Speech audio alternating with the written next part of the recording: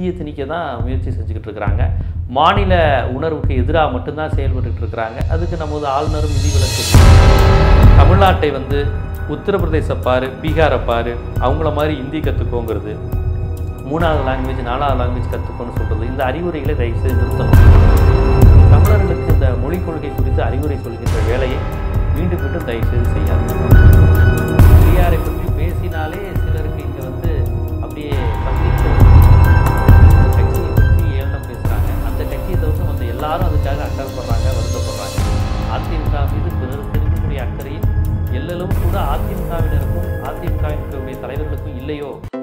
விதமான நல்நிகழ்விற்கும் நிகழ்வு அங்காடி வழங்கும் பங்களிப்பும் பரிசும். மேலும் விவரங்களுக்கு டபிள்யூ டபிள்யூ டபிள்யூ டாட் நிகழ்வு அங்காடி டாட் காம் தொடர்புக்கு nine triple four three double nine zero nine five. மற்ற மாநிலங்களில் இருக்கிற மாணவர்கள் மாதிரி தமிழ்நாட்டு மாணவர்களும் இந்தியாவில் இருக்கிற பிற மொழிகளை கற்றுக்கணும் அப்படின்னு ஆளுநர் ஆர் என் ரவி அவர்கள் சொல்லியிருப்பது எதை காட்டுகிறது?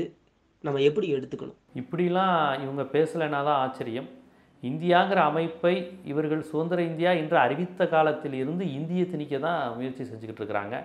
மாநில உணர்வுக்கு எதிராக மட்டும்தான் செயல்பட்டுட்டு இருக்கிறாங்க. அதுக்கு நமது ஆளுநரும் விதிவிலக்கு இல்லை.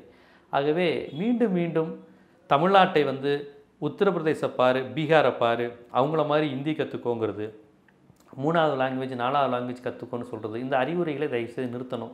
இருமொழி கொள்கைங்கிற ஒரு அற்புதமான ஒரு சயின்டிஃபிக்கான ஒரு கொள்கையை தேர்ந்தெடுத்து இன்றைக்கி இந்தியாவில் முன்னோடி மாநிலமாக தமிழ்நாடு இருக்குது ஆகவே எங்களுக்கு இந்த அறிவுரைலாம் வேணாம்.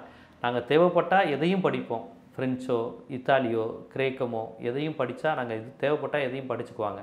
ஆகவே அதையெல்லாம் நீங்கள் தீர்மானிக்க வேணாம். அதெல்லாம் காலம்தான் தீர்மானிக்கும். ஆகவே தமிழர்களுக்கு இந்த மொழிக் கொள்கை குறித்து அறிவுரை சொல்கின்ற வேலையை மீண்டும் மீண்டும் தயவுசெய்து செய்யாதீங்க. நீட் விளக்கு மசோதா பரிசீலனையில் இருக்கிறப்போ அரசு பள்ளிகளோட கல்வித்தரத்தை மேம்படுத்த வேண்டியது அவசர தேவையாக இருக்குன்னு ஆளுநர் ஆர் என் ரவி அவர்கள் ஒரு விஷயம் சொல்லியிருக்காரு. இதை எப்படி பார்க்குறீங்க? நீட் விளக்கு மசோதா தமிழ்நாடு சட்டமன்ற இறையாண்மை போன்ற பல்வேறு விஷயங்களை பலமுறை ஆளுநரிடம் நம்ம சொல்லியாச்சு.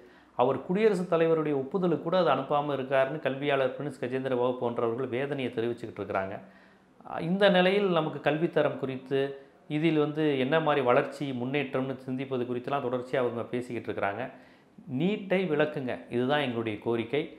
அதை இப்போதைக்கு செய்யணும். இது பெரிய அளவில் கல்வியாளர்கள் தர மட்டத்திலிருந்தும் பெரிய அழுத்தம் வர ஆரம்பிச்சிருக்கு. ஆளுநர் போன்றவங்க இவர்களை பொருட்படுத்தாமல் இப்படி தொடர்ச்சியாக வந்து நீட்டை அப்படியே மெயின்டைன் பண்ணுறதுக்கான வேலைகளை செய்கிறாங்களோங்கிற அச்சம் இருக்குது தமிழக முதலமைச்சர் இப்படியே போச்சுன்னா இதனுடைய அடுத்த கட்டத்தை நடவடிக்கை எடுப்பார். நீட் விளக்குக்கு சட்ட ரீதியான எல்லா நடவடிக்கையும் அவர் எடுத்துட்டாரு. இது இல்லைன்னா அடுத்து மக்கள் போராட்டமா? இல்லை வேறு எந்த வகையில் இதை காக்க முடியும் அப்படிங்கிறதுக்கான ஒரு பரிசீலனையில் முதலமைச்சர் ஈடுபடுவார்னு நான் நினைக்கிறேன். குடியரசு தின விழா அணிவகுப்புல அலங்கார ஊர்தியில பெரியாரோட சிலை இருந்ததுக்கு நிறைய விமர்சனம் வந்துட்டு இது எப்படி பாக்குறீங்க? தமிழ்நாடு குடியரசு தின ஊர்தியில் பெரியார் இடம் பெற்றது அப்படிங்கிறது ரொம்ப ஒரு பொருத்தமான விஷயம்தான். இதில் விமர்சனத்துக்கு எதுவுமே கிடையாது. இந்தியா முழுவதும் உள்ள பிற்படுத்தப்பட்ட ஒடுக்கப்பட்ட மக்களுக்கின் உரிமைக்காக அவர்களினுடைய சுயமரியாதைக்காக பாடுபட்ட ஒரு தலைவரை அவர் பிறந்த தமிழ் மண்ணில் இப்படி ஒரு அங்கீகாரம் கொடுப்பதுங்கிறது ரொம்ப இயல்பான விஷயமா பார்க்குறேன். இதை வந்து இப்படியெல்லாம் விமர்சனம் செய்யக்கூடியவர்கள் இருந்தும் துணிச்சலாக செய்திருக்கக்கூடிய முதலமைச்சர் ஸ்டாலினை நான் வாழ்த்துகிறேன். அவருடைய இந்த செயல் வந்து மிக மிக பாராட்டுக்குரியது. அதை நம்ம வந்து மறுக்கவே முடியாது. ஏன்னா பெரியாரை பற்றி பேசினாலே சிலருக்கு இங்கே வந்து அப்படியே பத்திக்கிட்டு வருதுன்னு சொல்கிற மாதிரி அவ்வளோ ஒரு விமர்சனத்தோடும் வன்மத்தோடும் இருக்கிறாங்க. இந்த நிலையில் முதலமைச்சர் அவர்கள் ஆம் பெரியாரை நான் கொண்டு வருவேன் ஊர்தியில் வைப்பேன் என்று சொல்லியிருக்கிறார். இந்த துணிச்சல் பாராட்டுக்குரியது. சட்டமன்றத்துல ஆண்மையோட பேச அதிமுகவுல ஒரு எம்எல்ஏ கூட இல்லை. சொன்னது பாஜக எம்எல்ஏ நயினார் நாகேந்திரன். இந்த கருத்தை எப்படி பார்க்குறீங்க? தற்போது பாஜக சட்டமன்ற உறுப்பினர் ஆனால் வந்து அவர் அதிமுககாரர் என்று தான் பரவலாக அறியப்பட்டவர் அவர் அரசியல் வட்டாரத்தில். அவர் இன்னைக்கு அவங்களுடைய பழைய கட்சிக்காரங்களை பார்த்து சட்டமன்றத்தில் யாருக்குமே ஆண்மை இல்லையா அப்படின்னு அவர் கேட்டிருக்கிறாரு. இதற்கு யாரும் இதுவரையும் பதில் சொன்ன மாதிரி தெரியல.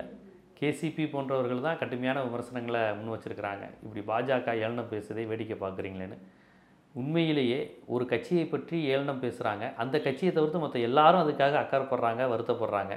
அதிமுக மீது பிறருக்கு இருக்கக்கூடிய அக்கறையில் எல்லளவும் கூட அதிமுகவினருக்கும் அதிமுகவினுடைய தலைவர்களுக்கும் இல்லையோ அப்படிங்கிற சந்தேகம் நமக்கு வருது. பாஜக அளவிற்கு திமுகவை அதிமுக எதிரியாக பார்ப்பது இல்லை அப்படி தான் தோணுது. ஏன்னா சித்தாந்த ரீதியாக பாஜகவிற்கு தான் திமுக அழியணும். அதிமுகவை பொறுத்தவரையும் சித்தாந்த ரீதியாக திமுக எதிரி கிடையாது. அவங்க ரெண்டு பேருக்கும் கட்சி சண்டை. அவ்வளவுதான். கொள்கை ரீதியான யுத்தம்ங்கிறது பாஜகவுக்கும் திராவிட இயக்கத்துக்கும் தான். இன்றைக்கி திராவிட இயக்கத்தினுடைய தொடர்ச்சியாக திராவிட இயக்க அரணாக அவங்க பார்ப்பது திமுகவை. அதனால் பாஜக வந்து எப்படியாவது திமுகவுக்கு எதிராக ஒரு ஒரு கல்லை எடுத்து வீசிக்கிட்டே இருக்கிறாங்க. அதிமுகவும் சரி பாஜகவும் சரி திமுக மீது தொடர்ந்து சில குற்றச்சாட்டுகளை வச்சுக்கிட்டே இருக்காங்க. இதை நீங்கள் எப்படி பார்க்குறீங்க ஆளும் கட்சியின் மீது பொதுவாக புகார்கள் விமர்சனங்கள் வருவதுங்கிறது ரொம்ப இயல்பான விஷயம். யார் ஆளும் கட்சியாக இருந்தாலும் விமர்சனங்கள்ங்கிறது வர்றதுங்கிறது இயல்பு தான் அதெல்லாம் அதுலேருந்து யாருமே தப்பிக்க முடியாது. திமுக மீது பாஜகவோ அதிமுகவோ நிர்வாக ரீதியான சில குறைகளை சுட்டிக்காட்டினால் கண்டிப்பாக திமுக அதை திருத்தி கொள்ள வேண்டும் அதை சரி செய்யணும். அப்படி ஒரு ஆக்கப்பூர்வமான எதிர்க்கட்சியாக இருக்கணும். அப்படி இருந்தா என்றால் மகிழ்ச்சி. அதை தவிர்த்து விட்டு ஏதாவது ஒரு தனிநபர் விமர்சனம் செய்யணும் சாடல் செய்யணும் அப்படிங்கிற அடிப்படையில் விமர்சனங்கள் வைத்தால் அதை மக்களே புறந்தள்ளுவார்கள். டெல்லியில் இருக்கிற எல்லா அரசு அலுவலகங்கள்லையும் முதலமைச்சர் படங்களை எடுத்துட்டு அம்பேத்கரோட படத்தையும் பகத்சிங்கோட படத்தையும் வைக்கணும்னு அம்மாநில முதல்வர் ஒரு அறிவிப்பு வெளியிட்டிருக்காரு. இந்த அறிவிப்பை நீங்கள் எப்படி பார்க்குறீங்க தமிழ்நாட்டில் அப்படி ஒரு அறிவிப்பு வரும் அப்படின்னு எதிர்பார்க்கலாமா? அரவிந்த் கெஜ்ரிவால் அவர்களுக்கு முதலில் என்னுடைய நன்றி. டாக்டர் பாபா சாஹிப் அம்பேத்கர் படம் புரட்சியாளர் பகத்சிங் அவர்கள் படத்தை வைக்கணும்னு சொல்லியிருக்காரு. கடவுள் படங்கள் சடங்கு சம்பிரதாயங்கள் எதுவுமே அரசு அலுவலர்களிடம் இருக்கக்கூடாது. அவர்களுடைய பணியில் அது தாக்கம் செலுத்தக்கூடாது என்பதை அன்றே அறிஞர் அண்ணா திராவிட முன்னேற்றக் கழகத்தின் நிறுவனரும் தலைவருமாகிய அறிஞர் அண்ணா தெரிவித்தார். அந்த விதத்தில் இது போன்ற விஷயங்களுக்கும் முன்னெத்தியராக இருப்பது தமிழ்நாடு தான் இருந்தாலும் இது ஒரு புரட்சிகர நடவடிக்கையாக பார்க்குறேன். இல்லாட்டி ஏதாவது ஒரு சாமி படத்தை வச்சுக்கிட்டு ஏதாவது ஒரு சார்பு நிலை எடுத்துக்கிட்டு அரசு அலுவலகங்கள் இருக்கின்ற இந்த நிலையில் அரவிந்த் கெஜ்ரிவாலுடைய இந்த முடிவுங்கிறது வரவேற்கத்தக்கது. இதே போன்ற நிலை பிற மாநிலங்களுக்கு வருமா அப்படிங்கிற கேள்விக்கு எனக்கு பதில் தெரியாது. ஏன்னா அந்தந்த மாநில தன்மை பொறுத்து அவங்க தீர்மானிக்கலாம். அம்பேத்கர் பகத்சிங்கோடு சேர்த்து அந்தந்த மாநில தலைவர்களையும் அவங்க பரிசீலிக்கலாம். மேற்கு வங்கமாக இருந்தாலும் தமிழ்நாடாக இருந்தாலும் கேரளாவாக இருந்தாலும். டெல்லியை பொறுத்தவரையும் அந்த டெல்லிங்கிறது ஒரு மாநிலத்தன்மையிலேருந்து விலகியது. அதனால் அவங்க அம்பேத்கர் வந்து ஒரு இந்தியாவினுடைய ஒரு பொது தலைவர். அவர் வந்து இந்தியாவின் ஒரு ஜனநாயகத்தின் சிற்பிங்கிற அடிப்படையில் அம்பேத்கரை தேர்ந்தெடுத்திருக்காங்க பகத்சிங்கை தேர்ந்தெடுத்திருக்கிறாங்க. இப்போ தமிழ்நாடு மேற்கு வங்கங்கிறப்ப அந்தந்த மாநிலத்துக்கு என்று தனித்த தலைவர்கள் மிகப்பெரிய முன்னோடிகள்லாம் எல்லா மாநிலங்களுக்கும் இருக்காங்க. அந்த தலைவர்களையும் சேர்த்து தான் அவங்க யோசிப்பாங்கன்னு நான் நினைக்கிறேன். ஜாதி மதமற்ற சகமனித சமத்துவம் மற்றும் பாலின சமத்துவத்தை விரும்புபவர்கள் மட்டும் பதிவு செய்யவும். மேலும் விவரங்களுக்கு டபிள்யூ டபிள்யூ டபிள்யூ டாட் இணையர் மேட்ரிமோனி டாட் காம் தொடர்புக்கு nine four triple nine two one four seven one